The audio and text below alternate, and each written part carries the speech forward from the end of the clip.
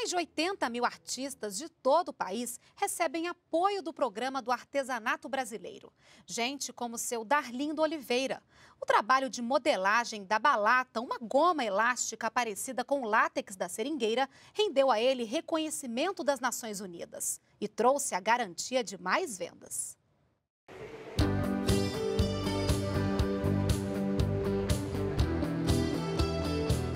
A habilidade faz parte do dia a dia desse artesão. Darlindo Oliveira, o mestre Darlindo, como é conhecido, modela a balata, que é essa massa.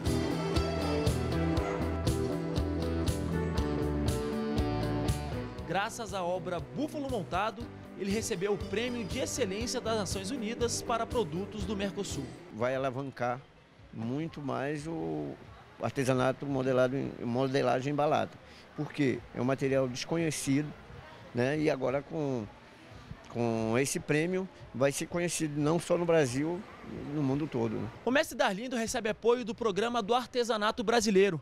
É por meio desse programa que ele consegue participar de feiras como essa. Assim como ele, artesãos de oito estados participam dessa feira graças ao PAB. Dona Carmen, como que é para a senhora é, esse apoio do programa?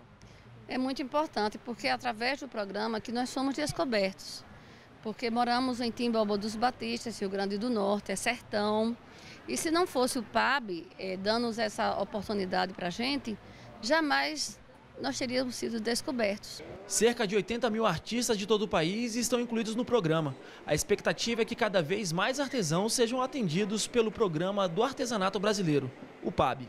Só em 2011, o governo investiu mais de 2 milhões de reais e até o fim desse ano, outros 3 milhões e 400 mil reais devem ser aplicados no programa. O ano passado nós conseguimos fazer oito turmas de capacitação de multiplicadores numa metodologia que foi desenvolvida para o programa, uma metodologia que visa formar artesãos empreendedores, ou seja, o que nós, nosso objetivo é que o artesanato seja um gerador de emprego e renda. Então esse artesão ele precisa saber fazer negócio. Além de espaços para expor os produtos, o programa ainda oferece treinamento. Agora a gente está precisando levar outras informações para os artesãos, tipo embalagem, tipo qualidade de produto, tipo é, promoção do artesanato no mercado internacional, como é que isso funciona, para que a gente possa realmente ter aí é, a exposição do artesanato brasileiro no mundo todo. Eu acho que todo mundo devia ver, participar, incentivar também com a presença da gente é, é, esse, esse, pessoal que tem necessidade de mostrar o seu trabalho, tá? que é feito com muito carinho, com muita boa vontade, com muito desenvolvimento deles, interno deles também, porque eles se unem, eles formam cooperativas, eles formam tudo isso para conseguir é, chegar até aqui.